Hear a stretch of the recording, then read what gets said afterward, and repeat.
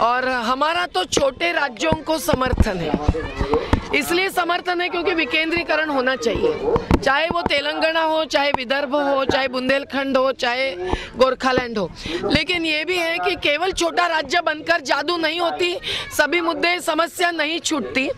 तो गाँव का राज होगा तो ही समस्या छूटेगी ये भी हमारा मानना है।